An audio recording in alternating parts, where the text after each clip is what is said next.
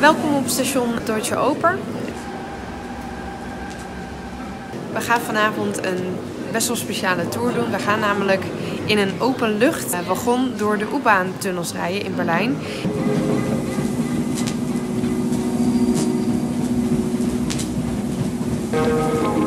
Is een rit van 35 kilometer, twee uur lang, waarbij we de tunnels van de Berlijnse U-Bahn van binnen echt kunnen bekijken.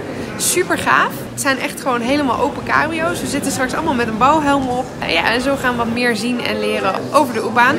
Er zijn ook heel veel tunnels waar de, de U-Bahn normaal niet rijdt of uh, die ook lang afgesloten zijn geweest tijdens de DDR-periode. Dus ik ben heel erg benieuwd wat we allemaal uh, gaan zien.